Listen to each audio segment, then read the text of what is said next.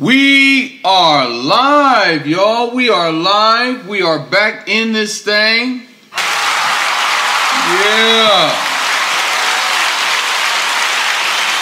And we moving on.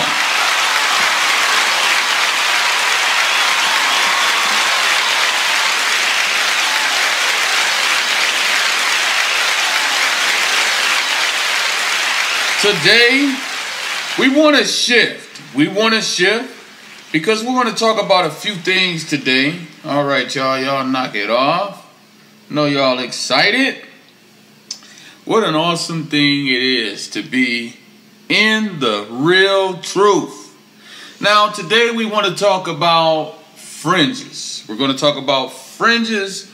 We're going to talk about the Sabbath. And then we're going to shift and talk about camp idolatry, okay? Camp idolatry. We're going to talk about that, all right? Because that right there, that's going to be the money. That's going to be the money. Yeah. Now, what I want to do is, I want to get a scripture read for the first time in forever I want Numbers 15 38 to be read. Because it's been a while. I know it's been a while. That way I can get situated. All right. Let's get that.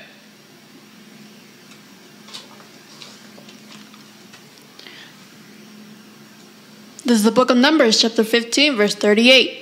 Speak unto the children of Israel, and bid them that they make fr- them and bid them that they make them fringes in the borders of their garments throughout their generations, and that they put upon the fringe of the borders a ribbon of blue. All right, now I want you to read verse 39.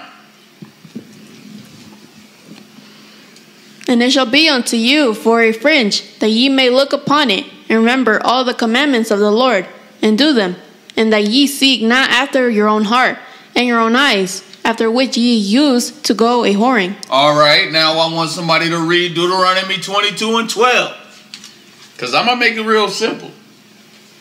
This is going to be the book of Deuteronomy, chapter 22 and verse 12. Let's get that. This is the book of Deuteronomy, chapter 22, verse 12. Thou shalt make thee fringes upon the four quarters of thy vesture, wherewith thou coverest thyself. All right, so these are the only scriptures in the entirety of the Bible that is speaking of wearing fringes to remind us of the commandments. Now, mind you, the children of Israel has been expelled. They've been kicked out of Jerusalem. Jesus was going around casting out devils, casting out devils, casting out devils. And what do you know? The last devil, Israel, was cast out of their land in 70 CE. Now I want to go to Jeremiah. This is going to be the book of Jeremiah, chapter 31. Make sure y'all write this down. And I'm going to read verse 29. In those days they shall say no more, The fathers have eaten a sour grape, and the children's teeth are set on edge.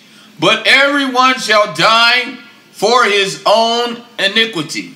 Every man that eateth the sour grape, his teeth shall be set on edge.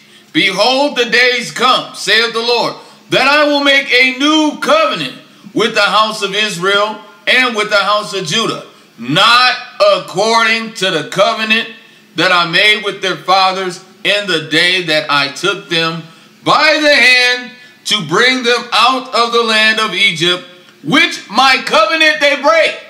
So when we talk about wearing fringes, those fringes was connected to that first covenant. And as we just read, which my covenant they break although I was an husband unto them, saith the Lord. Verse 33 But this shall be the covenant that I will make with the house of Israel. After those days, saith the Lord, I will put my law in their inward parts and write it in their hearts, and will be their God, and they shall be my people. Verse 34 And they shall teach no more every man his neighbor, and every man his brother, saying, Know the Lord. For they shall all know me from the least of them unto the greatest of them, saith the Lord. For I will forgive their iniquity and remember their sin no more. Now, this new covenant that he's making with the house of Israel is not established on sacrifice. It is based on every man dying for their own sins. So if you wear fringes, that's on you. But wearing fringes is connected to the first covenant, okay? And God made a new covenant with the house of Israel. It is not established on sacrifice. Remember, he said, I'm making a new covenant, not according to the covenant that he made with our fathers. That covenant was established on sacrifice. He's saying, I'm making a new covenant.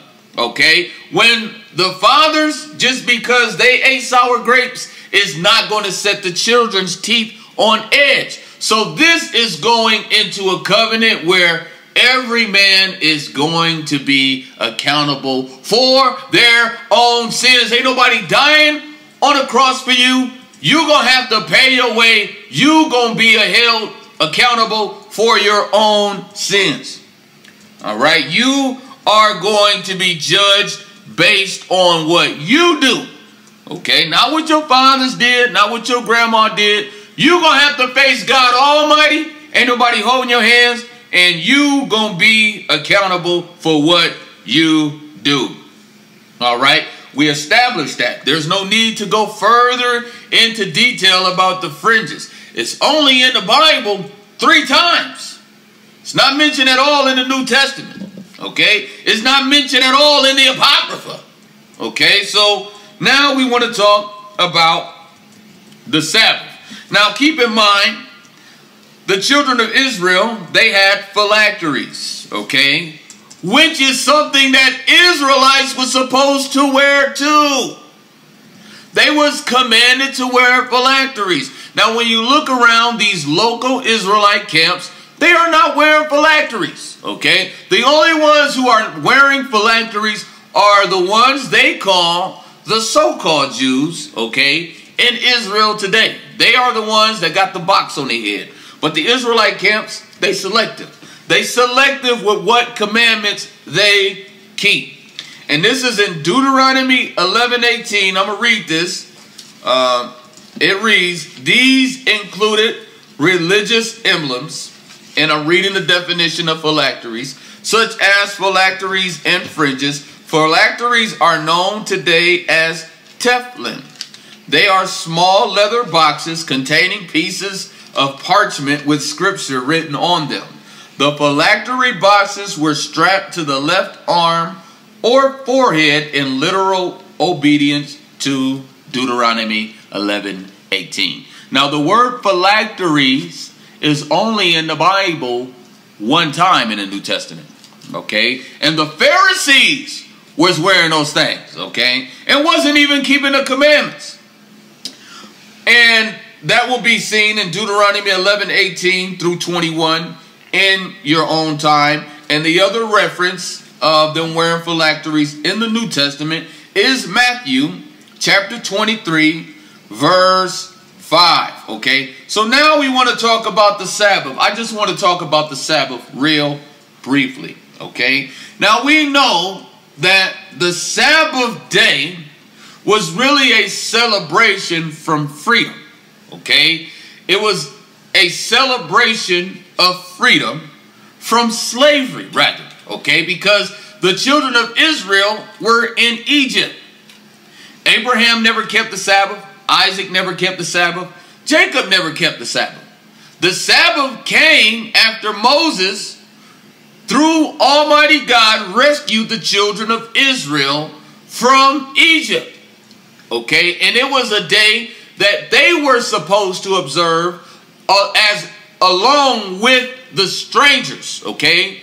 that were in their land. So this was something the children of Israel was supposed to do. And like I told you before, a lot of people like to bring out the rest from God's work and they go all the way back to Genesis and all that. Well, then how come Abraham wasn't celebrating it?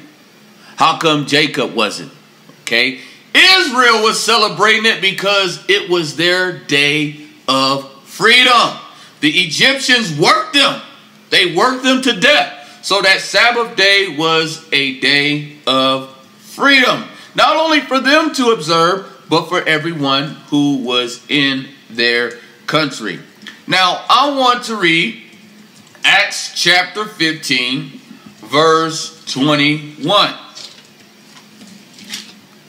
All right, and this reads For Moses of old time hath in every city them that preach him, being read in the synagogues every Sabbath. Now, I'm going to tell you something about the Sabbath.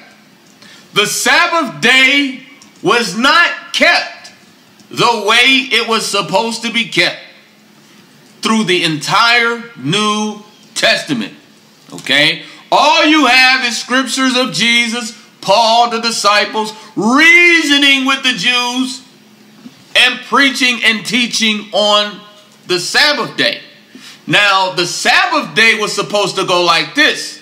There was supposed to be no working, no buying, no selling, no carrying things. They ain't supposed to carry no burdens. And if you read in the New Testament, Jesus did not even adhere to it fully, okay, because he was doing miracles.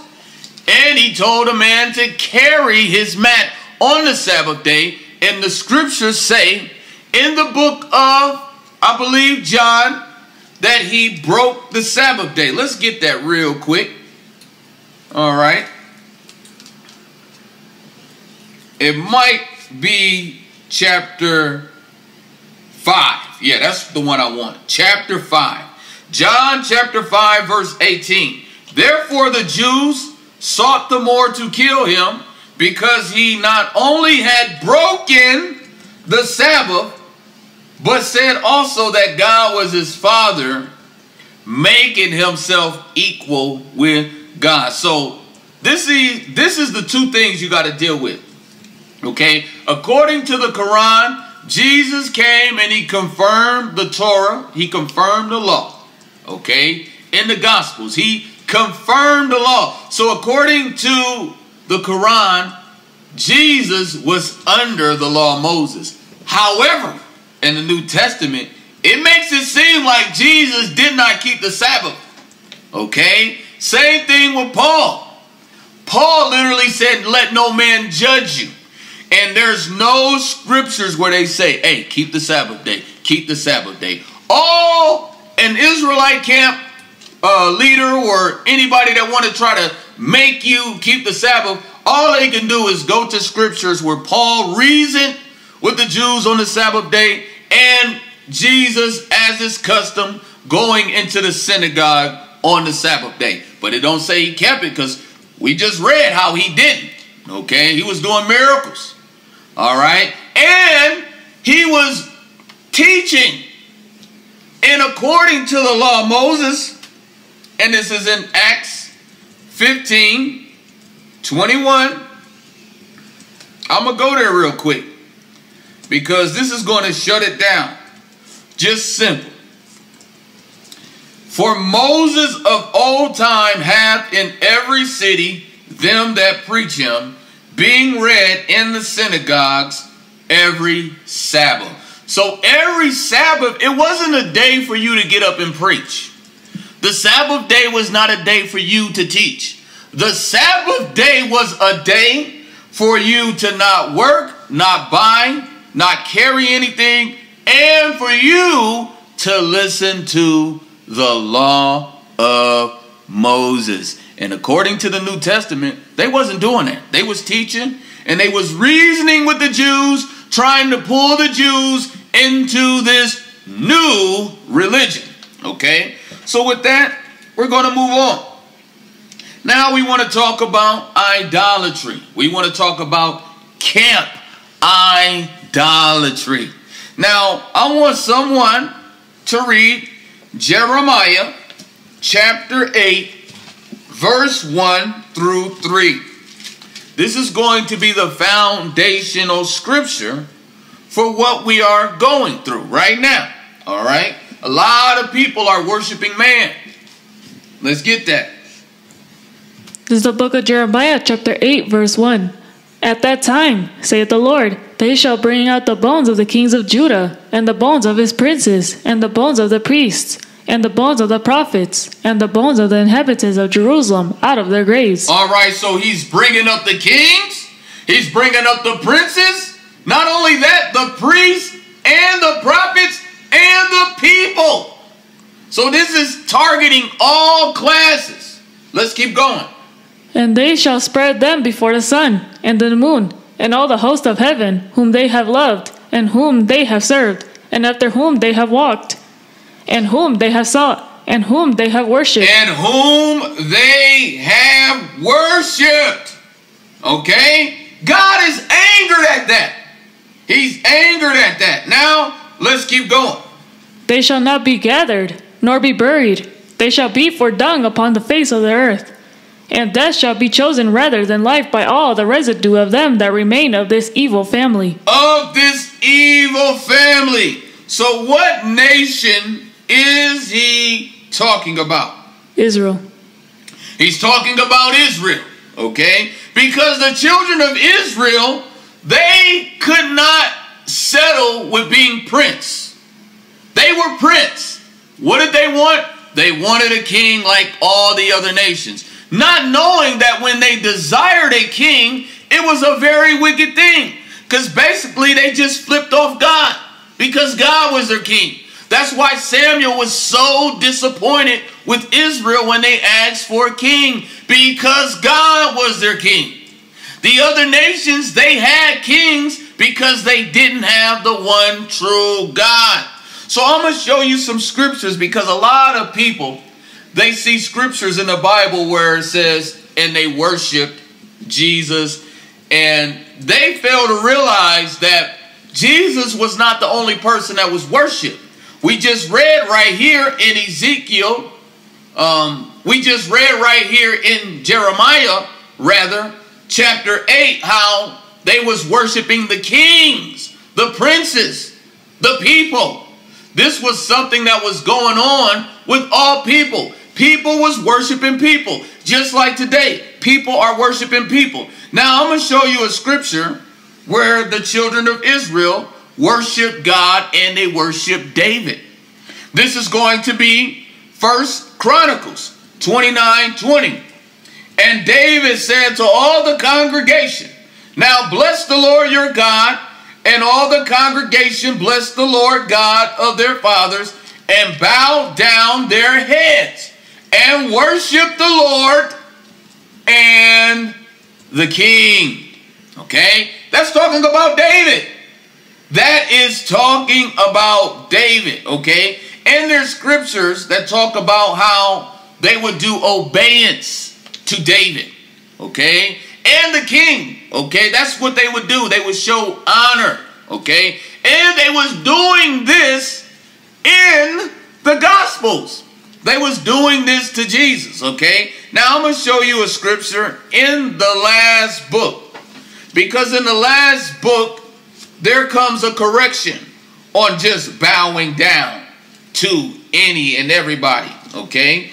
This is going to be Revelation chapter, let me see, 22 verse 9.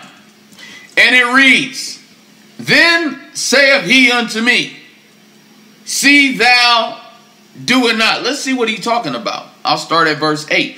And I, John, saw these things and heard them. And when I had heard and seen, I fell down to worship before the feet of the angel which showed me these things. Then saith he unto me, See thou do it not, for I am thy fellow servant, and of thy brethren, the prophets, and of them which keep the sayings of this book. Now look what he says. Worship God. The angel had to come with the medicine. He had to come with the remedy. He's like, looky here, man. Worship God. Don't worship me. Don't worship nobody else. Worship God. He didn't say worship Jesus. Okay? And for you people, y'all got the nerve. And y'all listen to some of these guys like Mr. Sam, and he tells you it's okay to worship Jesus. There's not one single ambiguous statement in the entirety of the Bible. And mind you, Jesus ain't even mentioned until the New Testament, where Jesus says, I am God, worship me. It's not in there. Now, if you try to bring up that before Abraham was I am and all that, that is beating around the bush, okay? I want exact scripture where it's literally saying, worship Jesus. Because Jesus told the devil, he said, you ought to worship the Lord thy God alone. So if you don't have any scripture for worshiping Jesus, why would you do it? Why would you do it? You're supposed to worship God and him alone. Okay, so don't let these people deceive you. They come with all these different breakdowns and they think they have knowledge, but you cannot put something in Jesus' mouth that he didn't say. Jesus never once ever said, worship himself. He told you to worship God and you cannot serve two masters. So now we want to talk about camp idolatry. And I have a video that I'm going to show. Yeah, I'm going to show this video. So sad how our people are, man. It, it really is. It really is. Here we have a man on a horse. Let's play this.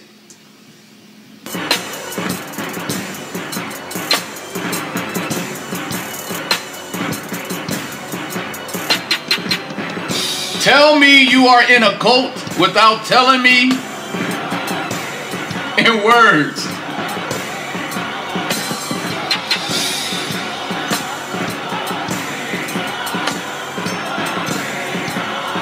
Here we have a man on a horse.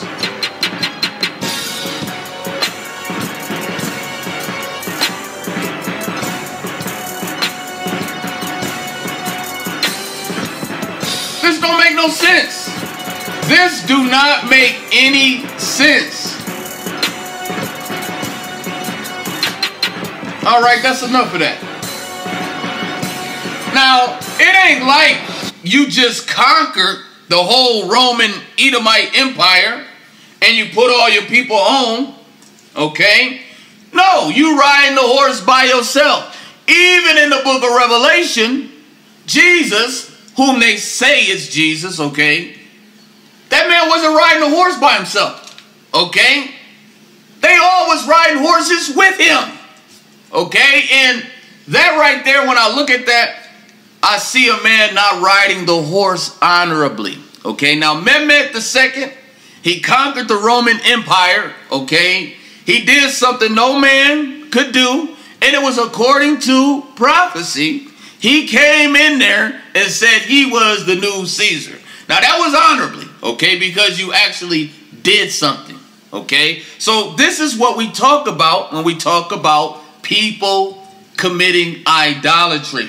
Now, I want to read the definition of idolatry. Idolatry consists in divinizing what is not God. Man commits idolatry whenever he honors and reveres a creature in place of God. Whether this be gods or demons, for example, Satanism, power, pleasure, race, ancestors, the state, money, etc. So whenever you worship something God created more than God, you have just committed idolatry. And this is what the Apostle Paul teaches, okay? In the Gospel of John, that narrative is pushed as well. Okay, Paul teaches us that God created all things through Jesus Christ. All right? He makes Jesus the creator. All right. Now, if you read that same Bible, if you go into the Apocrypha and you go through Genesis, you'll see that God is the creator. God is the creator. So, this narrative that Jesus is God has been thoroughly pushed by the Apostle Paul. And all these men you see that are being idolized today, it all came from that same spirit. It started when the nation of Israel desired a king. Okay? This is the reason why when they tried to make Jesus king, he ran and he hid. When Caesar said, Aren't you the king of the Jews? He said, You sayest. Thou sayest. He said, I came to bear witness of the truth. Jesus always included his Father as king. He said, For thine is the kingdom, for thine is the power, for thine is the glory. Yours is the kingdom. Jesus never once ever tried to be king. That scripture is nowhere in the entire Bible. Now, I have some other stuff to show you, which is so sad, okay? Now, this is what I call pure idolatry. Check this out. Well, I got the definite. Beard has been heavy.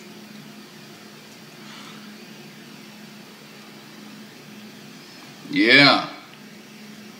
We got to expose the lies and set up the truth.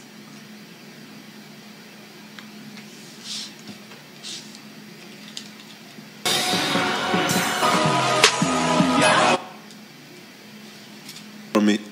You know, when I first heard it, when I first was listening to it, you know, you don't wait till the last moment to try to get right with the Lord.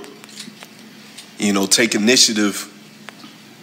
All right, take initiative to serve the Lord in truth and sincerity, fear the Lord, call upon his name now.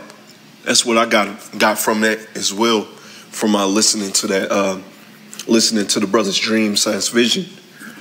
Very, very heavy. And if you notice, the spirit has been heavy. Slakia. The spirit has been heavy on the IUIC. Well, Slakia, the Lord has been sending the spirit heavy upon the IUIC to call upon the true name of the Lord. As uh, the elder Apostle Gabar brought out, you know, you had that uh, appear to be Edomite. Hey, she could have been a Jade. Uh, I'm going to get to the point real quick.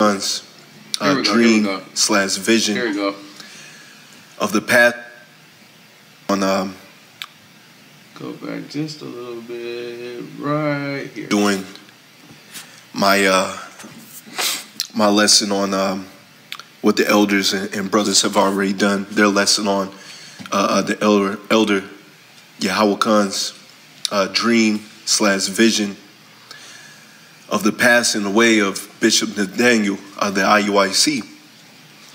And uh, you listen to the video, which, uh, hey, if you haven't listened to it yet, I advise you to listen to it. It was very, very edifying, very heavy as well. And parts of what I got from it, you know, when I first heard it, when I first was listening to it, you know, you don't wait till the last moment to try to get right with the Lord. All right, that's all I need right there. So here we have a brother getting on, praising IUIC, and then he's talking about another man's dream of taking over IUIC. Having a dream about a man dying and then you coming in and taking his place. I mean, this is the stuff I'm trying to tell you. This is why God took the kingdom from Israel, man. We are a mess. We run around here thinking we somebody when we're nobody. The last and final messenger was Prophet Muhammad.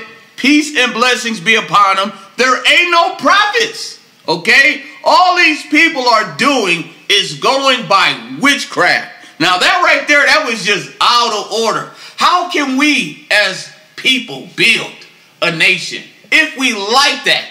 That was just so hypocritical and that was just so fake.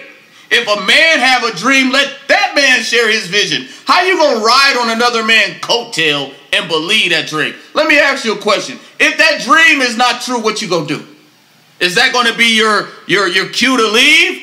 Or are you gonna stay with this? This is nonsense. I have more stuff to show y'all. Here we have on the screen,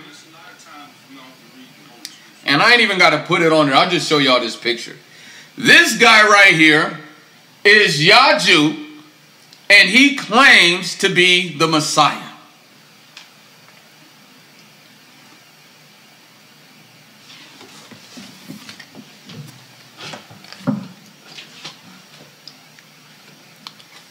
I'm going to let my wife, I want you to speak for just a few seconds on the camp idolatry you have just witnessed.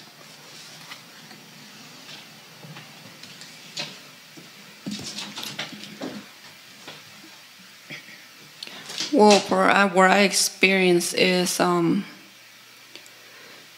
the whole year we were at this call called IUIC. I experienced um, pictures of uh, so-called bishops, so-called captains, deacons, um, all over the school, which they don't call it church, they call it schools, IUIC schools. But uh, when I was friends with all these so-called sisters in IUIC all around the world, I noticed that um, they were always posting uh, the so-called Bishop Nathaniel's picture everywhere, all over Facebook and all the inter- um, social media. And to me, that is called idolatry because you're like worshiping an image, and you you see this man coming in and the no horse and you see all the sisters so so-called sisters getting all excited and crying and you bow down when you can agree them. That's worship it to me. You're worshiping uh, somebody. That's idolatry. It's just like the catholics they have idols all over their church all over their houses. They bow down they pray and that's worshiping and that's idolatry. So to me, um, IUIC is literally worshiping or having idolatry towards the so-called Bishop Nathaniel. Because if you put up his picture everywhere, you you cry when you see him, and you jumping up and down, excited when you see him coming in that horse, and you always talking good about him and if you're sitting down at the school and they said bishop on deck, you had to get up and start clapping like God walked up in the room. And that was not God walking in the room, that, that is a man. So that's, to me, for what I experienced, that is idolatry. That's right. That is idolatry. Good speech. Yeah. That is good speech. Because a lot of women do not want to tell the truth about it. But you gave a good speech. I like that. All right? And and it ain't to say we ain't down with it because we down for our nation. It's just when anybody says something that's against the Bible, that's when it's time to go. When it's against scripture, then it's time to go. All right? And I have a few more scriptures, okay? I want to go to 1 Samuel 15 23. And it reads For rebellion is as the sin of witchcraft, and stubbornness is as iniquity and idolatry. Because thou hast rejected the word of the Lord he has also rejected thee from being king. So witchcraft, okay, Christianity, idolatry, it all goes together. Now, a lot of y'all is like, what? What did he just say? Idolatry, witchcraft? And I'm going to show you something, all right? I did a word search today in my Bible. I did a word search. And in my word search, if you was to type in idolatry in the Bible. Matter of fact, I'm going to do it right here in y'all presence. Type in idolatry in the Bible. Guess what books it goes to and guess who, who is it talking about? Okay? Anytime idolatry is mentioned in the Bible, it's with your boy Saul. Okay? The Old Testament Saul. And in the New Testament, is mentioned four times. And guess with who? Your boy Saul of the New Testament. This witchcraft, this idolatry, all comes in when you are trying to make a man king, okay, who is not king. If Jesus and God is in the same room, who is king, Jesus or God? God. God. They both can't be king. They both can't be king. And Jesus, he saw his father as king and a lot of people. They don't have enough Bible study uh, under their belt to know that the first time the children of Israel asked for a king, it was a wicked thing and it literally was a diss to the Almighty God. So he rose up a Gentile messenger, messenger to bring the oneness of God back. Because Christianity is a polytheist religion. It is the worship of more than one God. The New Testament is worshiping two or more gods. The Old Testament is only worshiping one God.